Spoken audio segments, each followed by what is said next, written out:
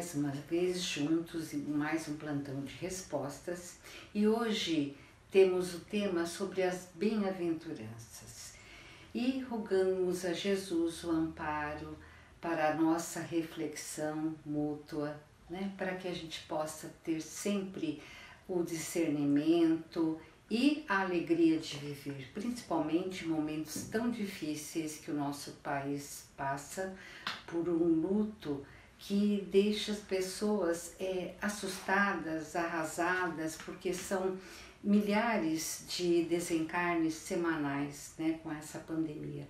Então, vamos entender um pouco mais sobre os ensinamentos de Jesus para que a gente possa se beneficiar e termos mais equilíbrio.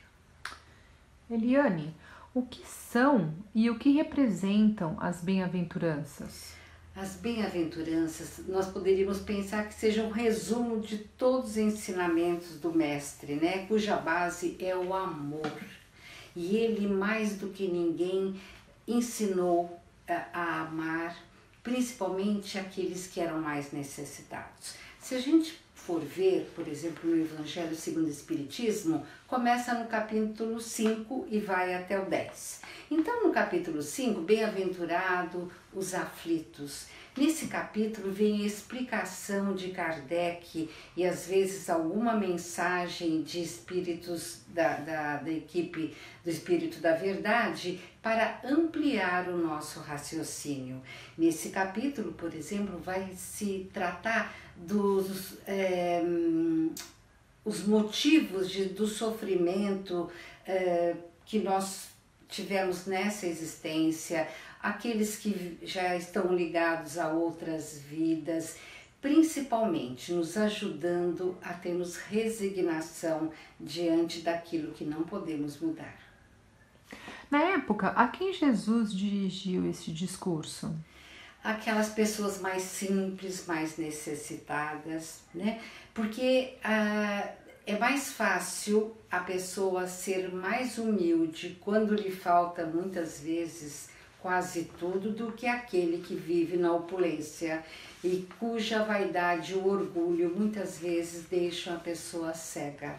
Então Jesus, ele falava em todos os lugares por onde ele passava, mas imaginando há dois mil anos aquelas aldeias simples de pescadores, de pequenos comerciantes, Jesus vinha com a sua palavra aqueles injustiçados, né?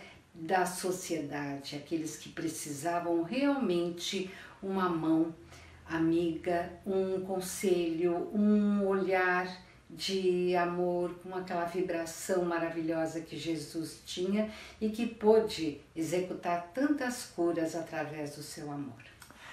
Essas diretrizes são exclusivas do cristianismo e de que forma chegaram aos outros povos e religiões? Olha, se a gente pensar que Jesus, sendo governador do nosso planeta Terra, ele disseminou esses ensinamentos através de várias religiões por aqueles que acabaram vindo em seu nome, que eu digo não necessariamente em nome de Jesus Cristo, mas que vinham com noções. Então, nós vamos ter coisas belíssimas espalhadas é, no, no budismo, é, no catolicismo, né, que também é cristão, no hinduísmo é, e todas as escolas religiosas, né, tem um fundamento bastante é, próximo uns dos outros. Muda-se às vezes as palavras, muitas vezes a interpretação, mas são religiões que traduzem realmente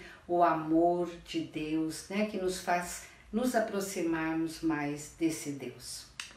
Hoje, quem são os necessitados dessas palavras e o quanto a humanidade atual difere em termos morais daquela do tempo de Jesus? São duas questões, né? Então, somos nós mesmos que talvez estávamos, se não naquele local, em outros há dois mil anos atrás. Então, ele continua falando conosco através do seu evangelho pelos séculos afora. E nós ainda não conseguimos entender e começar a esquecer um pouco o nosso ego e começar a praticar essa lei de amor, esse fundamento que Jesus trouxe desse Deus amoroso, esse Deus que ampara e que nos dá oportunidade, principalmente através da reencarnação. Hoje nós temos algumas coisas, somos mais adiantados do que aquela época e outras nem tanto. Mas o que nós sabemos que hoje o ser humano, por estar tão envolvido na vida material, tem muito mais dificuldade de procurar se ligar às questões mais filosóficas, aquela que faz com que nós voltemos para dentro de nós mesmos, né? Para a gente poder também analisar aquilo que nós precisamos alterar, porque nós não podemos continuar como Gabrielas, né? Aí nasci assim, vou viver assim, vou morrer assim. Não. A vinda no planeta foi para nos aperfeiçoarmos, para corrigirmos tantos débitos que nós temos na nossa conta. É possível alcançar o reino dos céus através das bem-aventuranças na dimensão material? Hum, dificilmente, né?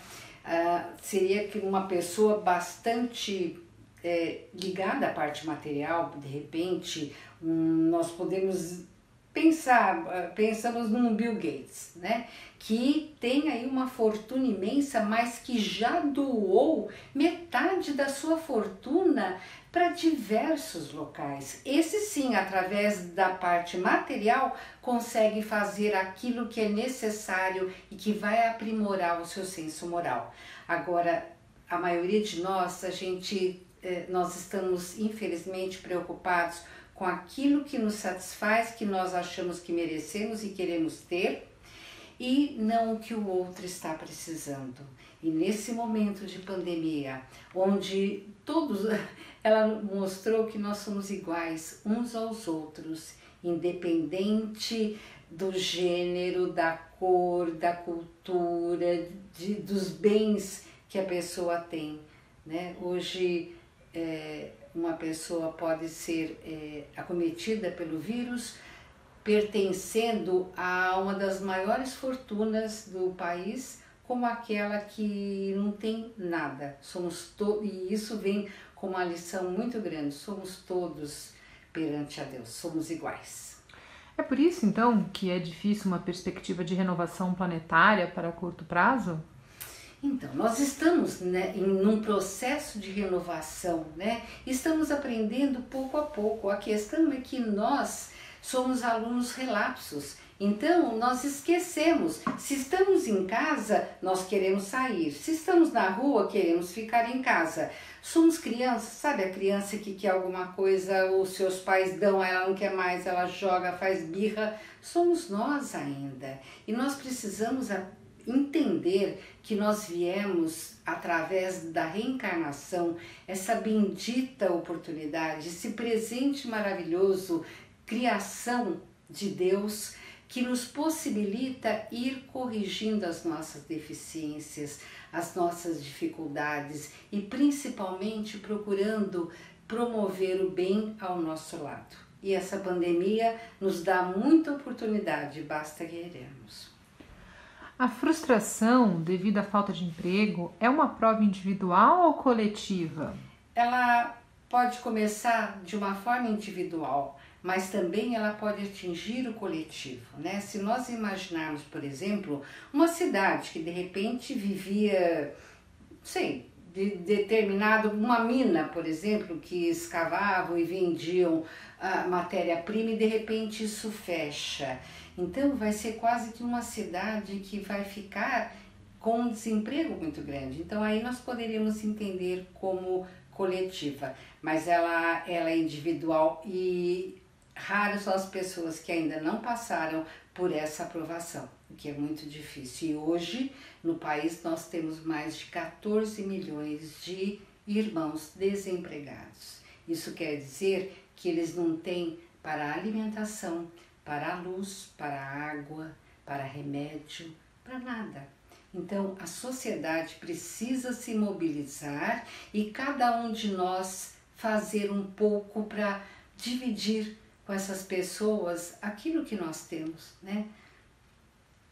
Os níveis de exigência de bens de consumo aumentaram? Aumentaram muito porque as, as empresas, as lojas investem de forma maciça né? Antigamente, eu falo antigamente, mais de 50 anos atrás, tinha um comercial de um sabão, na época que infelizmente podia de cigarro, de bebida, e que isso favoreceu com muitas pessoas é, se aproximassem desses vícios, mas as pessoas parece que se não tivessem aquele produto elas não seriam felizes. Depois vieram os carros importados, aquelas mulheres lindas, perto do carro e a gente achando que com o carro viria também o resto. E aí nós nos encontramos hoje, muitas pessoas vendo que tudo que conseguiram de, do, de, de forma material não vale quase nada, o vazio continua. É, pessoas, muitas que estão em depressão, em síndromes variadas, esse isolamento necessário, mas acaba também é, influenciando, poderia, se a pessoa quisesse, utilizar de uma forma bastante positiva. Ler, ver alguma coisa interessante, um documentário, falar com quem já não fala há tanto tempo. A tecnologia está aí para isso, né? Mas muitos ficam vivendo aquela dor, muitas pessoas no luto, esquecendo que esses entes amados que partiram, eles cumpriram aquilo que eles tinham. Então, qual mãe que mãe de, vamos usar um exemplo de um presidiário e que ele cumpre a sentença que foi designada pelo juiz e ele vai ser libertado, essa mãe vai querer que o filho continue preso naquela prisão? A terra, ela é ao mesmo tempo uma escola, uma prisão e um hospital. Né? E no momento que nós estamos dessa renovação eh, do planeta que estamos tendo oportunidade, nós precisamos entender que os nossos entes amados não são nossos, nossos filhos não são nossos, são espíritos que estão sob a nossa tutela, né? Os nossos pais, os nossos irmãos, e isso que precisamos. Talvez uma das questões que a pandemia também pôde nos ensinar é um pouco esse desapego que inclusive acaba sendo prejudicial entre as famílias. Tem famílias que vivem naquele núcleo, todos fechados e não se abrem para nada. Então, essas pessoas são as que mais estão sofrendo. Mas um pouco de desapego dos afetos, bem como das questões materiais, vai nos tornar pessoas mais é, lúcidas, né? Porque nós vamos analisar que é, a vida muda e muitas dificuldades que se aproximam é para nos ensinar alguma coisa. O resultado dessa pandemia, cada um de nós vai tirar sua própria conclusão. É, Poderia-se dizer então que as bem-aventuranças podem auxiliar a compreensão e aceitação dessas vicissitudes da vida que fogem do nosso controle? Sim, porque olha, por isso que Kardec, é, que trabalho maravilhoso, né? Quando a gente pega as bem-aventuranças, por exemplo, ah, bem-aventurados aflitos, né? Que como Jesus falou, e se não tem mais nada, fica o nosso imaginário, é, é muito pouco. E Kardec vai ampliar e vai explicar, inclusive, perdas de entes amados, uma série de itens que estão incluídas nas bem-aventuranças. Vamos pegar o Evangelho novamente, mesmo que nós já tenhamos lido. É um livro de cabeceira. Vamos pegar, ler e refletir. É isso que faz uma pessoa que tem o desejo de trabalhar e seguir o Mestre Jesus.